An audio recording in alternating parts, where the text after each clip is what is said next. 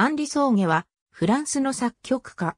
本名は、アンリ・ピエール・プパールと言ったが、筆名として、母、エリザベトの旧姓を用いた。わずか5歳で、母親の手ほどきでピアノを始める。その後ボルドーのサントイコールウラリー教会のオルガニスト、ルロー夫人に指示し、宗教曲やオルガン曲の影響を受ける。1919年から1920年まで、モントーバンに勤め、この時に、オーベルニュの歌の収集者として知られるジョゼフ・カントリューブと親交を結んだ。ボルドーに戻って、ルイ・エミエやジャン・マルセル・リゾットと3人組を結成し、1920年12月12日に最初の演奏会を行う。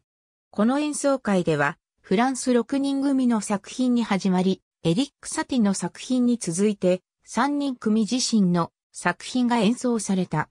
葬儀は自作の黒人の踊りとピアノのためのパストラルを演奏した。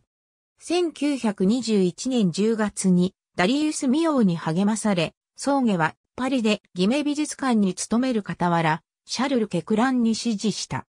1923年にアンリ・ポール・イコール・プレールやロジェ・デゾルミエル、マクシム・ジャコブラと共に歩く遊学派を結成し、エリック・サティに指示されて、1923年10月25日に最初の演奏会をシャンゼリゼ劇場で行う。葬儀は特にバレエ音楽を多数書いたことで知られる。1927年に書いたイソップ物語に基づく一幕のバレエ、メス猫は、ジョージ・バランシンの振り付けで、バレエリュスによって講演され、男性主役をセルジュリー・ファールが務めた。